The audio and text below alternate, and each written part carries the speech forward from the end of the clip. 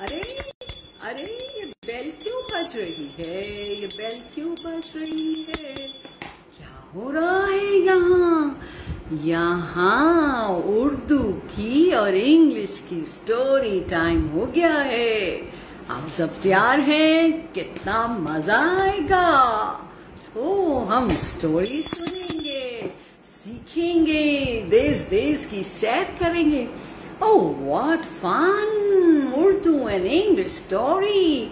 Oh, come one and come all and let's listen to the story. Come on. Oh, what fun. We'll visit places, we'll meet new characters, we'll learn new words also and impress others. Okay, okay, let's sit down. Hmm, hello, assalamu alaikum.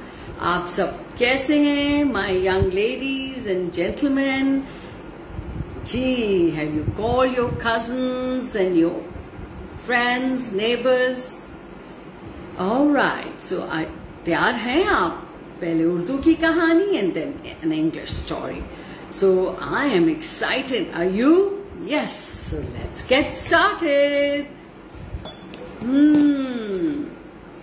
जी इस कहानी का नाम है इतफाक में बरकत इतफाक में बरकत यानी कि unity unity brings blessings yes brings abundance okay और इसको भी ये अमेरिका की कहानी है और इसको भी शिराज अली मुस्कुराहट ने इसकी तर्जमानी की है।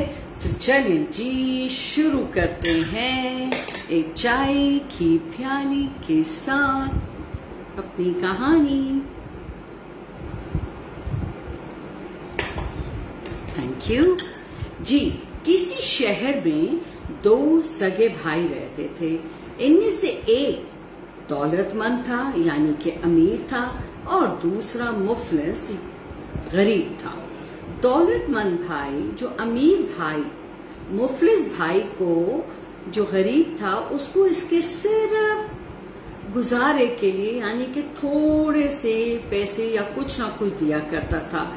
इसलिए गरीब वाले मुफलिस भाई को दिन रात इसकी खिदमत करनी पड़ती थी और वो इसकी खिदमत में मसरूफ रहता था। एक मरतबा गरीब मुफलिस भाई ने अपनी बीवी से कहा कि मैं रोज़गार के सिलसिले में यानी कि मैं बेहतर रोज़गार बेहतर काम के लिए नौकरी के लिए अनकरीब किसी दूसरे मुल्क को रवाना हो, हो जाऊँगा। तुम यही मेरे भाई की खिदमत करती रहना। देखना इसको कभी नाराज़ ना करना। वो जो कुछ कहे, इसकी ताबेदारी करना, जैसे कि हमें अपने माँ बाप की ताबेदारी करनी चाहिए, उनको उबे करना, उनका कहना मानना। ऐसा ना हो कि वो नाराज़ हो जाएँ और बच्चों को कुछ खाने को ना मिले, वरना फिर हमारे बच्चों को कुछ खाने को नहीं मिलेगा। ये बेचारा जब तलाश रोज़गार के सिलसिले में, यानी कि जॉब और काम की तलाश के सिलसिले में घर से निकला तो राह में, रास्ते में एकदम से उसकी एक फकीर, एक बेगर से मुलाकात हो गई।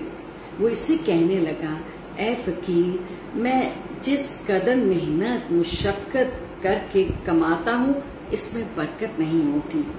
उसने कहा, उससे, फकीर से बात की कि मैं इतनी मेहनत करता हूँ, दिन रात एक कर देता हूँ, लेकिन मेरे कमाई में, मेरी इनकम में कोई बरकत नहीं होती।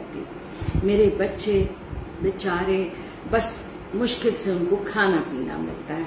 फकीर ने से कहा कि तुम आगे चलो, वहाँ तुम्हें एक जंगल मिलेगा, जिसमें घने दरख्त होंगे। अच्छा ये बेगर नहीं था, ये एक अल्लाह वाला था, ठीक है ना? उसने कहा, उसको बताया कि आगे घने दरख्त होंगे उस जंगल में, और तुम्हारी किस्मत इस जंगल में फला जगह सोई हुई। हाँ यानी कि किस्मत जैसे कोई इंसान है पर्सोनिफिकेशन वाह, इस फला जगह सोई हुई है। इस पर मट्टी पड़ी हुई है। मुफलिस ने पूछा कि जब वो जगह नज़र आए तो क्या करूँ? उसने कहा, मिट्टी हटा कर एक तरफ़ कर दे और अपनी किस्मत को जगा दे। हाँ बड़ी है ना मज़े की अजीब सी कहानी, इसलिए तो मैंने चूज़ किया आपको सुनाने के लिए। चलते चलते ये शख्स इस जंगल में पहुँचा थका और फिर उसने ढूंढना शुरू किया और ढूंढते ढूंढते ढूंढते उस जगह तक भी पहुँच गया, जहाँ इसकी बकौल फकीर के इसकी किस्मत सोई हुई थी। इसने देखा कि जैसे फकीर ने कहा, इस पर इसकी मट्टी पड़ी हुई थी। और कपड़े फटे हुए थे इधर उधर बिखरे पड़े थे। इसने आहिस्ता आहिस्ता बढ़ के उसकी मट्टी एक तरफ़ हटाई तो देखा कि इंसानी शक्ल में कोई चीज़ सोई हुई है। देखा, मैंने आपसे कहा था ना ये इंसान के रूप में वो कह रहा है किस्मत सोई हुई है। उसने उसे जगाने की कोशिश की और उसके करीब आकर आवाज़ दी कि उठ जाओ। लेकिन उसके कानों पर तो जू तक ना रेंगी, यानी कि उस पर कोई असर नहीं हुआ, जैसे उसने सुना ही ना। जब इसे जाने, जगाने का कोई तरीका, कोई तदबीर काम ना आई तो उसने सोचा, किस्मत जाती नहीं तो बेहतर है इसे जलाकर राख कर दिया जाए। अब वो बड़ा मायूस हो रहा था नेगेटिव हो रहा था। जो कि हमें नहीं होना चाहिए। लेकिन देखते हैं, फिर क्या होता है। ये सोचा उसने और फिर जंगल से लकड़ियाँ इकट्ठी की और उस इंसानी शक्ल की चीज़ जो सोई हुई थी, इस पर रखकर आग लगा दी। ताकि इसकी सोई हुई किस्मत जलकर राख बन जाए। लेकिन जब उसे आग की तपश, यानी कि गर्माहट पहुँची तो वो उठ खड़ी हुई। ऐसे करते हुए और इस मुफलिस इस गरीब भाई से मुखातिब ऊपर कहने लगी, ए जालिम, तुमने मुझे जला दिया। इसने कहा, मुझसे जालिम, तुम ज़्यादा जालिम हो। तुमने मुझे तो वक्त की रोटी का मोहताज बना दिया है। भूख की वजह से मुझमें कमज़ोरी बढ़ गई है। मैं चलने फिरने के भी काबिल नहीं रहा। जाने कैसे इस जंगल तक पहुंचाऊं? मेरे बच्चे भूखे रहते हैं। बहुत कम खाने को उनको मिलता है। और मैं दर बदर की ठोकरें खा रहा हूँ। जब किस नहीं इसकी दुख भरी दास्तान सुनी तो उसे थपकी दी। उसे कहा आ, तुम अपने बच्चों को लेकर दूसरे शहर चले जाओ। हाँ ये मशवरा था उसकी किस्मत का। हम्म वो बोलती भी थी जी देखते हैं अब क्या होता है ना मज़े की। सोई किस्मत जाल गई जब उसने जलाने की कोशिश की राइट और क्या नाम था बच्चों? कहानी का जी इत्तेफाक में बरकत। जब ये गरीब भाई मुफलिस अपने घर पहुँचा तो इसे मालूम हुआ कि कि भाभी ने, यानी बड़े भाई, अमीर भाई की बीवी ने भाभी ने इसके बच्चों को मारा, पीटा और उनको घर से निकाल दिया है। बच्चों ने इसे कहा कि, अब जान, आपकी भाभी ने हमें घर से निकाल दिया और हमारा खाना भी इसने बंद कर दिया है। इसने अपने भाई से कहा कि जैसे भी हो मुझे एक गधा दे दो ताकि मैं अपना सामान इस पर लाद कर मैं किसी दूसरे मुल्क में रोज़गार के लिए चला जाऊँ। चलो जी उसका भाई मान गया। भाई ने उसे गधा दे दिया और कहा जहाँ जाना चाहते हो चले जाओ। हम्म तो फिर वो एक किस, किसी तरफ़ रवाना हो गए। चलते चलते ये लोग एक घने जंगल में पहुँच गए। वहाँ एक दरख्त के साय तले उन्होंने अपना सामान उतारा। बच्चे बाग के करीब बैठ गए। तो वहीं दरख्त पर एक परिंदा चहचहा रहा था। परिंदा किसको कहते हैं? जी, बर्ड को। जी, ये देखें, इस किस्म का कोई परिंदा चहचहा रहा था। चू चू चू चू चू। ठीक है। ची ची ची ऑल राइट फिर देखते हैं कि परिंदा से क्या उनका इंटरेक्शन होता है।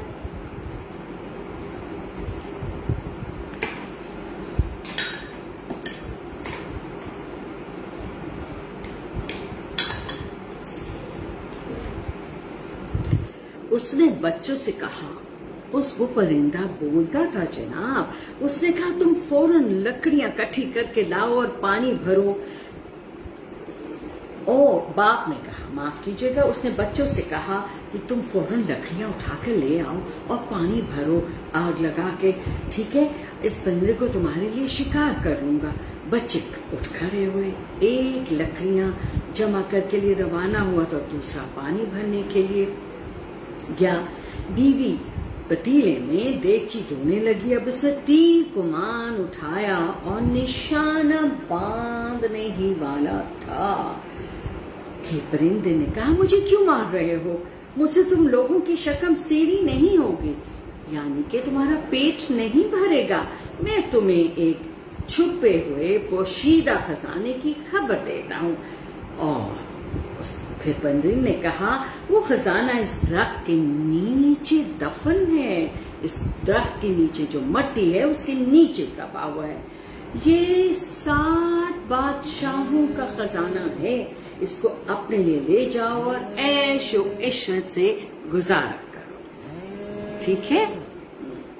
अच्छा, मुझे एक सेकेंड इजाज़त दीजिए मुझे जरा एक्सक्यूज कीजिएगा माफ़ कीजिएगा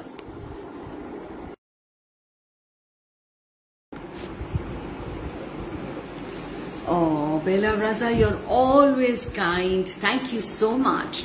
इंशाल्लाह मैं फिर आपकी किताबें पढ़ूँगी इंशाल्लाह अब वो जो परिंदा था वो उनको मशवरा दे रहा था कि आप इस दरख्त के नीचे खोदो और सात बादशाहों का इसमें इकट्ठा किया हुआ खजाना है और तुम लोग ऐश इशरत से आसानी की ज़िंदगी बसर करोगे इस इसने, उसने परिंदे को जब देखा कि वो बोलता है बोलता है इंसानों की जबान में तो उसने कहा, ज़रूर इसकी बात में कोई हकीकत होगी। तो उसने, उसको छोड़ा तीर कमान को और वहीं ज़मीन खोदी शुरू की। तो देखा कि वहाँ खोदता गया और बड़ी बड़ी देगे, यानी कि कोल्ड्रॉन्स बड़े बड़े पतीलों की तरह कंटेनर्स सोने से भरे पड़े हैं।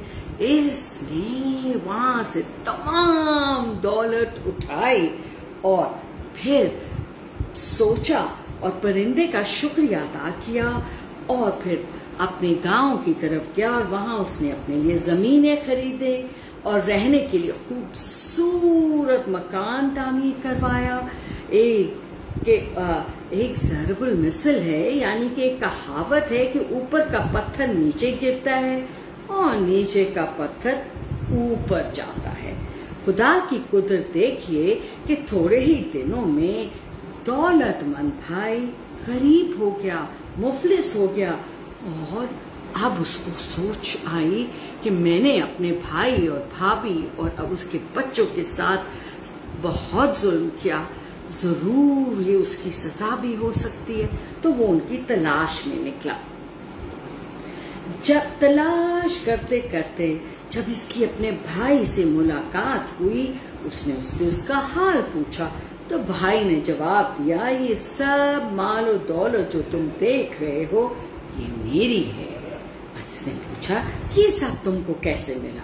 भाई ने बताया कि फला दरख्त के नीचे हमने कयाम किया था।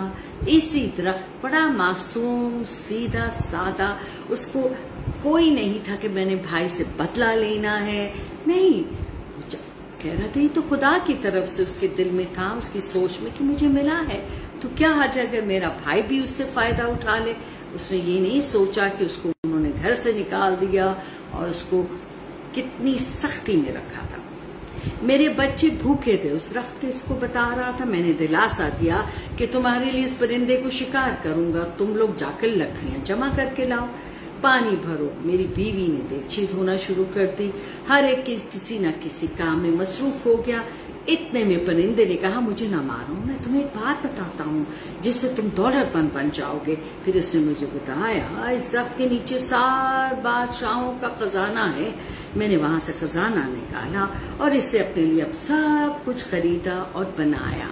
और मैं अपनी जमीनों पे काम भी करता हूँ। दूसरा भाई भी फ़ौरन वापस गया, अपने बीवी बच्चों के साथ इस दरख्त के पास पहुँचा। सामान वगैरह वहीं उतारा और दरख्त के तले कयाम किया। खुदा की कुदरत देखी कि वो ही परिंदा दरख्त पर आन बैठा। उसने बच्चों से कहा कि जाओ लकड़ियाँ जमा कर लो। देची धो क्योंकि मैं इस परिंदे को तुम्हारे लिए शिकार करूँगा और तुम्हें खिलाऊँगा। बच्चों ने कहा, आपने कौन सा परिंदे को शिकार कर लिया है? वो तो अब तक दरख्त पर बैठा है। फिर भला हमें क्यों लकड़ी पानी लेने जाएँगे? पहले आप इस परिंदे को तो मार के दिखाएँ। इधर बीवी बोली कि मुस्तफी की वजह से तुम्हारा तमाक काम नहीं कर रहा। परिंदा इनकी बात सुन रहा था। जब वो अपनी अपनी कह चुके तो बोला, ए, बस किस्मत लोगों, वो लोग जिनको मैंने दौलत का सुराग बताया था, इनका आपस में इतफाक था। इन सब के दिल में आपस में मिले हुए थे। वो एक दूसरे की बात मानते थे, एक दूसरे की इज़्ज़त करते थे, एक दूसरे की मदद करते थे। सब एक तरह सोचते थे। ये कहकर वो परिंदा उड़ गया। ओ, अब वो ना चाह वो समझ गया कि ये तो अब हमें खजाना नहीं मिलेगा। वो अपना सामान बाँध कर बड़ा भाई जो कि अब गरीब हो गया था भाई की तरफ़ रवाना हुआ। उससे कुछ मदद मांगे। जब भाई के बच्चों ने देखा अपने बाप से कहने लगे आपका भाई बीवी और बच्चों के साथ आ गया है। इसकी बीवी हमें चमचे और डोई से मारती थी। हमसे अच्छा सलूक नहीं करती थी। हम इनको यहाँ नहीं रहने देंगे। मगर बच्चों की माँ बोली, जो सलूक अपने दौर में इसने किया, वो सब जानते हैं। मगर अब हम इनको कुछ नहीं कहेंगे। हमारा दौर था जैसा भी था, गुजर गया। और देखिए, बस देखिए, दोनों भाई मिलकर रहने लगे और उनकी कमाई और उनकी रहन सहन में इतनी बरकत हुई कि आप सोच भी नहीं सकते। तो बेटा, अपने बहन भाइयों के साथ, अपने अम्मी अब्बा के साथ कजन्स फ्रेंड्स स्कूल में, घर में, हर जगह इत्तेफाक और इखलाक से रहें तो फिर आप देखिए, ये नहीं कि जी अच्छा उसने ज़्यादा मार्क्स ले लिए तो बस हमने नहीं उसको बताना, हमने कहा से पढ़ा? नहीं, मिलजुल के अपना नॉलेज अपनी इंफॉर्मेशन जो भी है उसको शेयर कीजिए। जी, देखिए अल्लाह पाक हमें कितनी नेमतों से नवाजते हैं राइट तो हमें भी जो कुछ हमारे साथ है, सबके साथ मिल बांट के इतफाक से उसको इस्तेमाल करना चाहिए। तो कैसी लगी? ये मुझे बहुत ही अच्छी कहानी लगी। जी, इसमें मैजिक भी था और बहुत अच्छा सा सबक था। क्या ख्याल है आपका? जी, अब तो टाइम होने लगा है हमारी इंग्लिश स्टोरी का।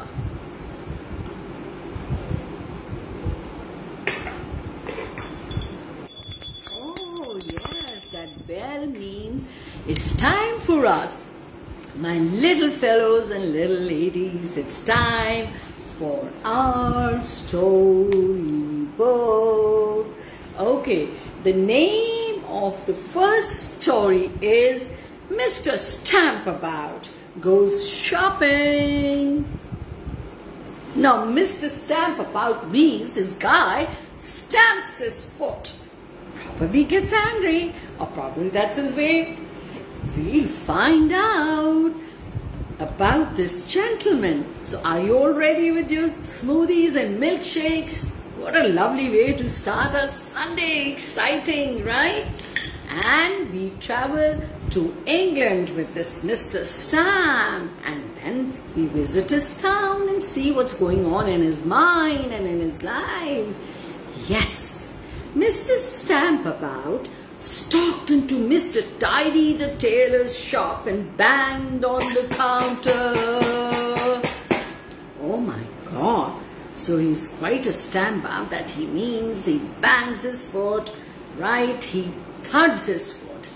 I want to be served, he said. I'm in a hurry. Mr. Tidy, like his name tells us, the tailor's shop, turned from the customer. He was serving.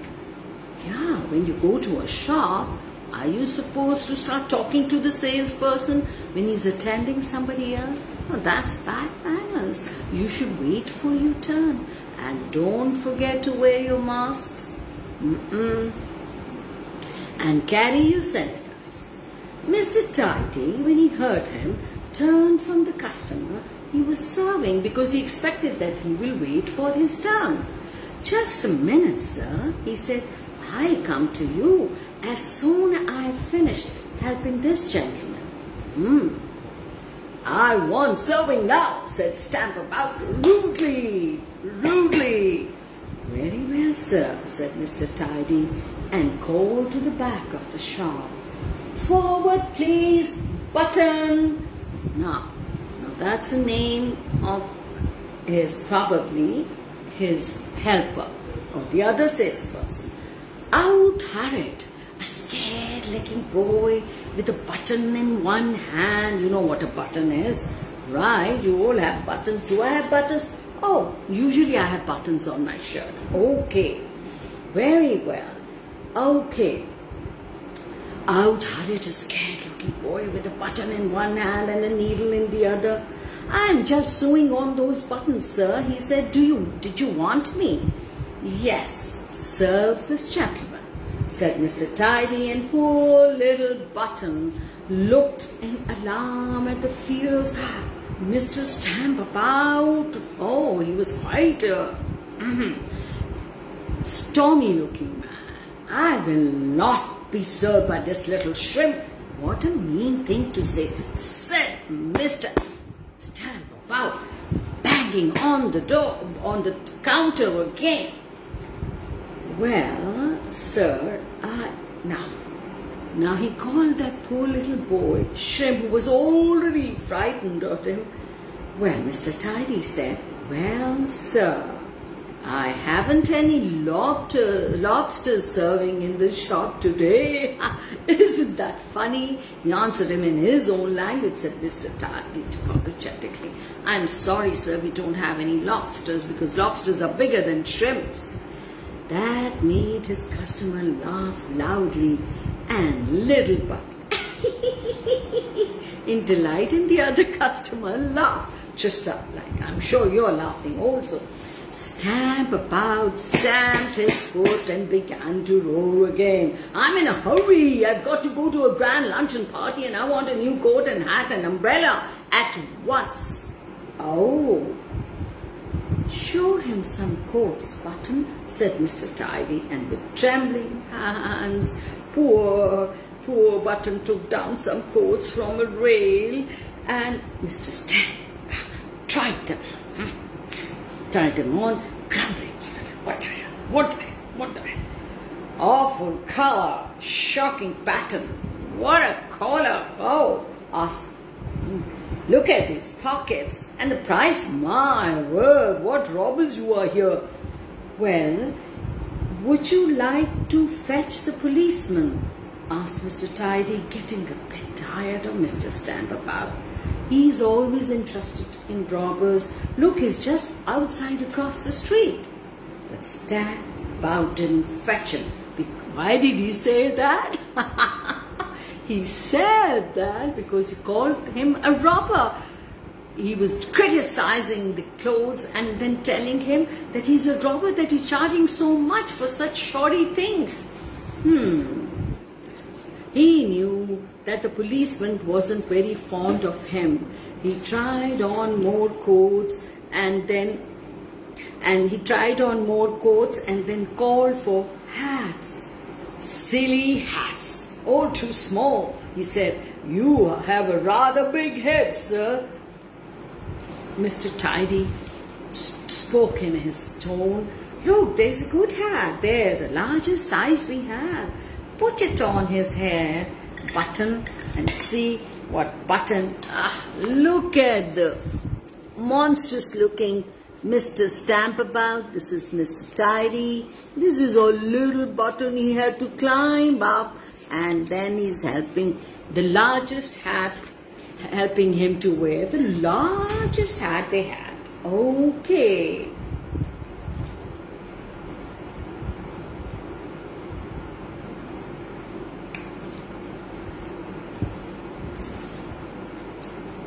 Button carefully fitted it on Stamp About said it was just a size and a very nice hat indeed. Hmm, hmm, not bad, not bad when he wore it, said Stamp About, turning his head this way and that way, with his proud neck and head to see the hat better. Yes, I'll have it if it is not too much money now. What about an umbrella? And after that, I'll decide on a coat. So finally, see, he's coming down to earth. Button gave him one. Not bad, he said, stamp about and opened it so suddenly that Button fell over backwards. See, what a rude, awful man he is.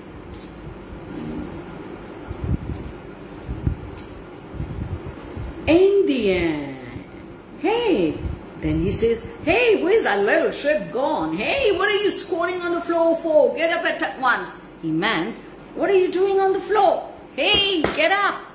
In the end, Stamp About chose a coat, a hat, and an umbrella. But how he argued about the price. If I buy three things, I ought to have them cheap he said, and began to stamp about the shop, calling Mr. Tidy a robber and a thief, until the poor man got so tired of him that he gave way. He gave in. Anything to get Stamp about out of his shop. He was scaring other customers away. That would have been more of a loss. Very well, I'll take a pound. Very well, I'll take a pound of the price, said Mr. Tidy button, wrap up the things. Then Mr. Stamp About can go. No, don't wrap them up, said Stamp About. I want to wear them. I told you I'm going to a grand luncheon party. Here's the money. Here's the money and I'll still think you're robbing me, charging so much even though you took a pound off the price. He said, like if you even if you're charging me a pound less, but you're charging me too much, and I don't wrap them up. I have to wear them. I'm going to a grand luncheon party. Mr. Tidy said nothing. He was sure he would lose his temper if he had much more of stamp about. Now he was being very patient. And I'm telling you, patience is your best friend. Remember that. Hmm? Hmm. So little Button tremblingly helped him oh, into his new coat like, and gave him the new hat and the new umbrella. Then he scampered into the back of the shop and sat down thankfully to his task of sewing on buttons. Stamp about went out of the shop stamping his foot without so much as a thank you. He muttered crossly as he went, angrily. Robbers, what a price to pay for new clothes, he said. Oh, how awful, how awful, how expensive. He was on his way to Mr. High Up, who was giving the party in his very grand house on the other side of the town. So, Stamp About decided to take a shortcut through the woods, the jungle. Just as he stepped into the jungle, into the wood, the wind got up and dug at his hat. There you go. And he had to hold it on tightly. He was trying to go against the wind. Stop it, wind, he said. Can't you see I'm wearing a new hat? I don't want it blown into the wood. Behave yourself. He wa wanted to control everything. He wanted everything going his way. Mm. Now he's telling the wind that got up that you better behave yourself. But the wind was going to do as it liked. You know that. You can't stop the wind from blowing. We can turn off the fans, yes. It waited till Stamp About was in the wood, and then it bounced on him and blew his new hat right off his head. And what was more, it blew it high up into a tree. Can you see the wind? There is, this is the wind blowing. This is Mr. Stampwood. And here is the hat. And it's got stuck on the bough or a branch of a tree. Do you think, do you think it serves him right for being so nasty and rude and humiliating and aggressive? Hmm. Ah, so the wind pounced on him and blew his hat right off his head and what was more, it blew it high up into a tree. Stamp about lost his temper. Take a good look. And he is yelling and stamping his foot. Mmm, how dare you? That's my new hat. Blow it down to me at once. Shakes yourself tree and throw down my hat. Now he's saying silly things in his temper, in his selfishness, isn't it? But the hat, of course, could not hear him. It didn't stir from the tree. It hung up there on a small branch and jiggled a little in the wind. All right, I'll come up and get you. Oh, said Mr. Stampabout. But I'd better take off my grand new coat, else I shall tear it on a branch. And I'll stand my new umbrella beside it too. So he decided to go up himself because the hat was not listening to him. Isn't it funny? So he decided that he'll take off his coat and put it under the tree. And the umbrella also so that they don't get spoiled. So he took off his coat and laid it carefully on a tree stump. You can see a tree stump. Yeah, that's it. Hmm. Okay, uh, but that, uh, all right. And uh, he stood his umbrella beside it. Then back he went to the tree and began to climb it. It was a difficult tree to climb and little bits and pieces kept catching at him as he climbed. You know, like the bark, the stem, the trunk, it has woody chips coming off Oh, he felt very cross indeed. He was very annoyed and angry. What a long way up is this hat. Just as he got almost to the hat at the top of the tree, the wind bounced down again and blew so hard that the tree rocked from side to side. It made a rustling sound and noise and stamped about very nearly fell out. See what's happening to him at the top of the tree? And the wind is blowing hard. And then we'll see what happens. He clung to a bough. He stuck he grabbed. He seized a branch, a bough, or a twig for all he was worth. Now down in the wind wood below, was a little old man. And can you guess what he's doing? What did he come across? Ah, he was very poor and had come to pick up wood for the fire. He came up to the tree stump where Stampabout had put his coat and umbrella and stared at them in surprise. Why were they here? Whose were they? Had someone left them there because he didn't want them anymore? But the coat seemed a very good one and the umbrella was a beauty. Now he's wondering and asking questions to himself. Right? And does anyone own these? shouted the old man. But nobody answered. Stamp about was being blown about in the tree and he didn't hear a thing. Well, well, it seems a pity to leave them here to rot in the wind and rain, said the old fellow. I can sell them for quite a bit of money. So he picked them up and went off with them, wearing the coat and swinging the umbrella, feeling very grand. Now, who will buy these? He thought. Yes, I'll go to old Tidy the tailor's. He's a nice fellow. He'll give me a fair price for them. So everybody knew the Tidy the tailor's.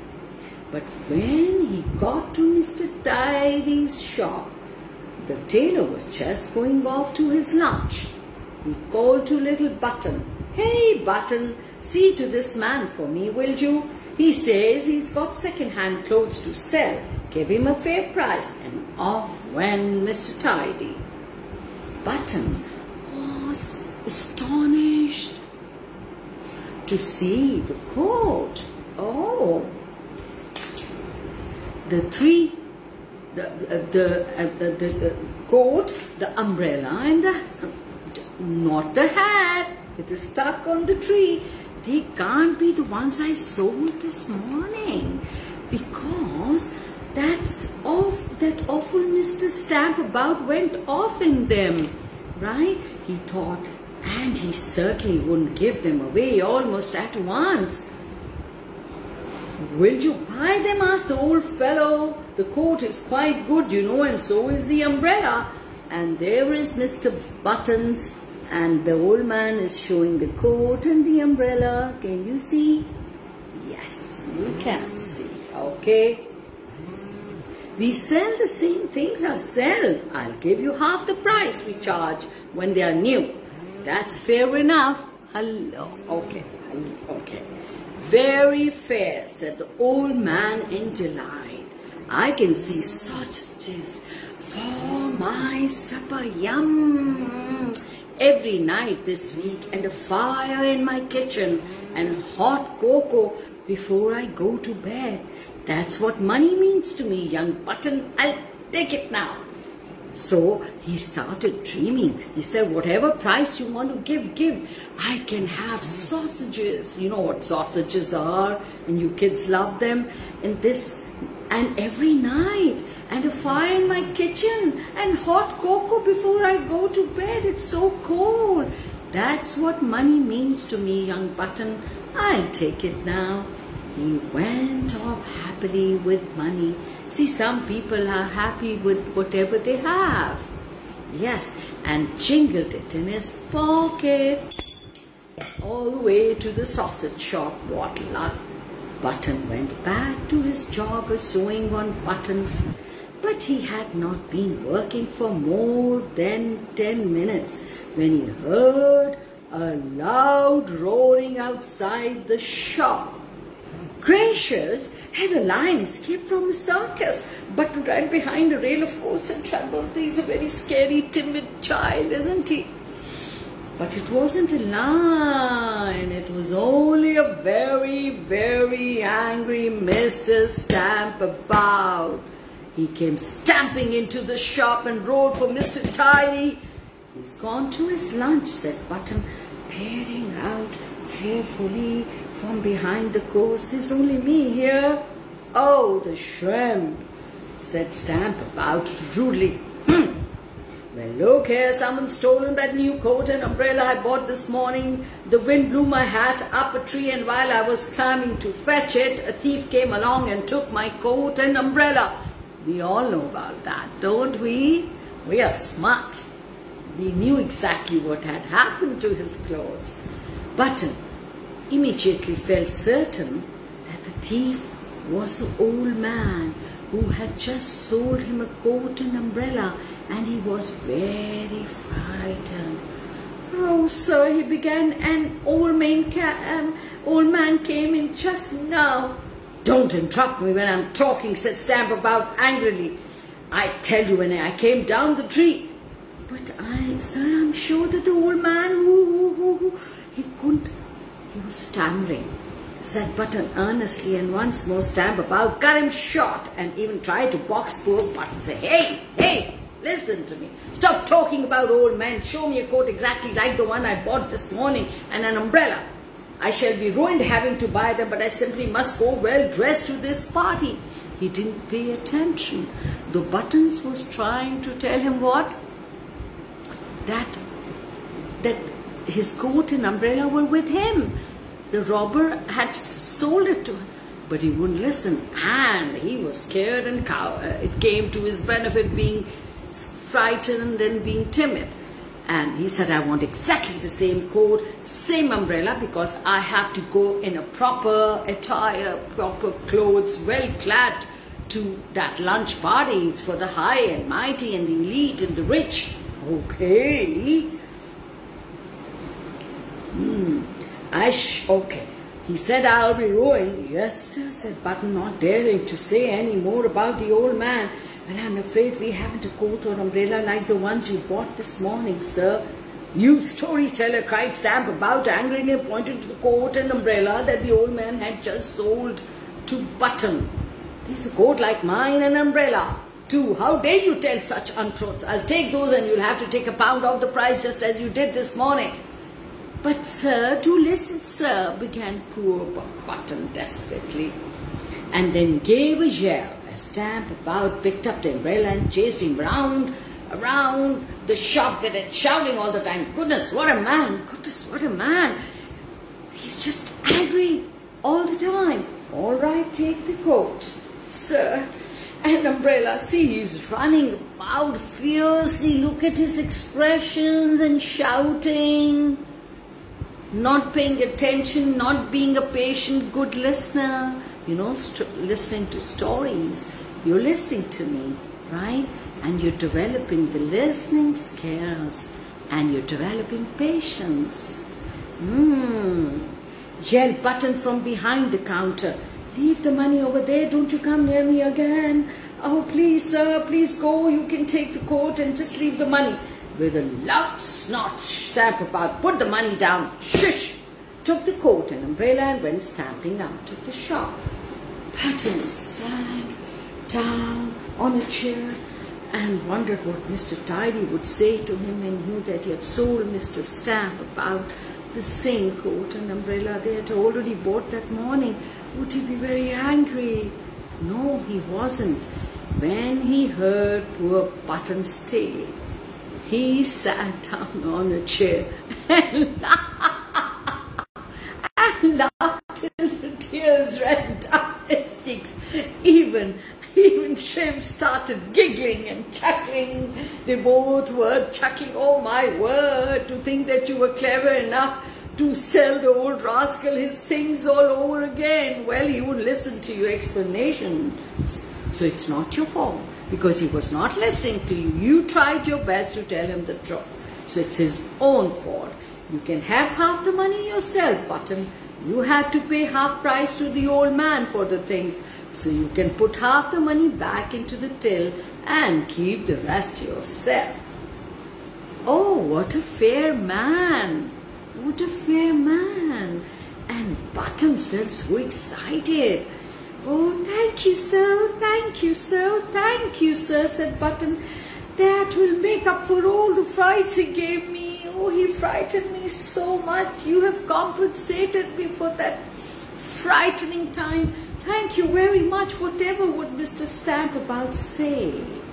If he knew he had paid twice for the same thing. Ah, well, I can guess. But as nobody will ever tell him, it won't matter.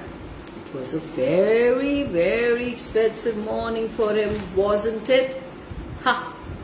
What a man. See, angry. Even his gait, way of walking is maddening. Woof.